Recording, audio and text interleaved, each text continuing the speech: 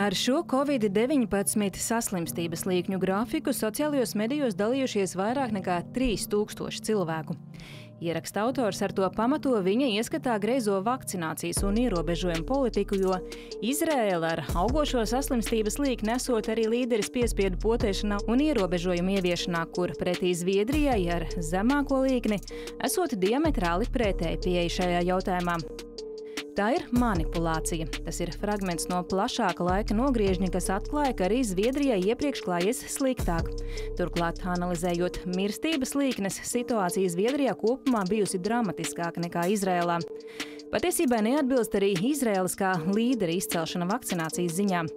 Tā bija tiesa agrā pavasarī, kad Izrēlā cilvēki aktīvi vakcinējās, taču kopš tā laika tur vakcinācija te jau apstājusies un ir 64%. Tikmēr Zviedrija straujākos apgriezienus uzņēma vasarā un šobrīd vakcinācijas ziņā nedaudz sāk apdzīt Izrēlu. Ja mēs gribam salīdzināt, Tad pirmkārt mēs varam salīdzināt vienādas lietas, vai vismaz maksimāli pietuvinātas lietas, bet mēs nevaram salīdzināt kāpostus ar kartupeļiem. Tieši tāpatās mēs nevaram paņemt vienu pētījumu no vienas valsts un salīdzināt ar citu valsti. Izraēlas saslimstības rādītāji līdz septembra vidum gan tiešām strauji auga. Imunizācijas valsts padomas vadītāji atzīst, ka visu atbilžu par to nav, taču jāņem vērā, ka šajā valstī noteiktos reģionos vai reliģiskās kopienās vakcinācija ir izteikti zemāka.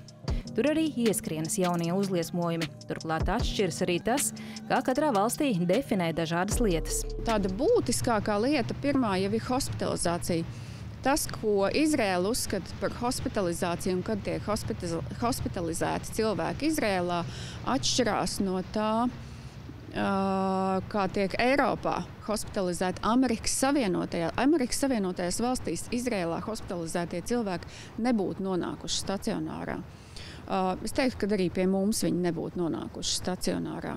Nu, daudz tādas nianses, ja, tāpēc šie dati nav salīdzināmi. Grafiku ar manipulatīvo Zviedrijas un Izraels datu salīdzinājumu vietnē Facebook tālāk izplatīja arī bijusī valsts kontrolas preses sekretāre Līga Krapāne, kura no darba aizgāja pēc konflikta ar vadību par covid testu un vakcināciju apšaubošas vēstules parakstīšanu, un kura tagad pievienojusies Aināra Šlēsera politiskiem spēkam, kā arī ārlietu ministra Edgara Rinkēviča padomniece Sandra Sondore.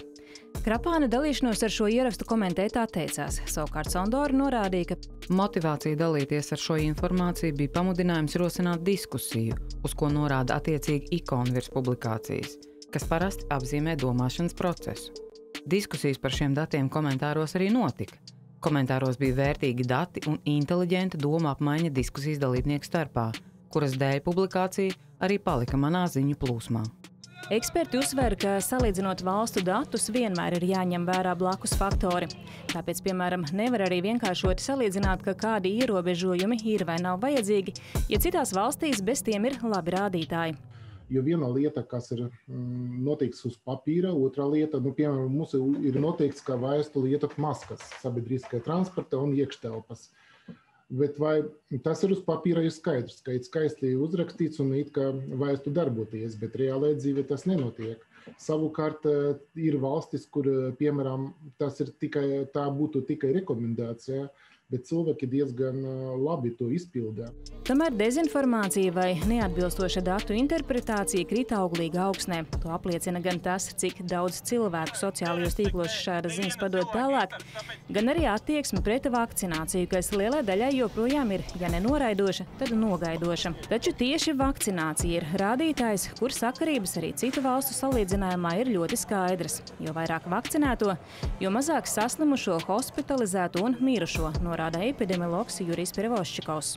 Ja mēs paņemsim vismaz piecas valstis ar vissliktākajiem vakcinācijas radītājiem, vissliktāko vakcinācijas aptveri, viszemāko, tad tieši šajās valstīs mēs tagad redzes, redzējam, ka saslimstība pieaug.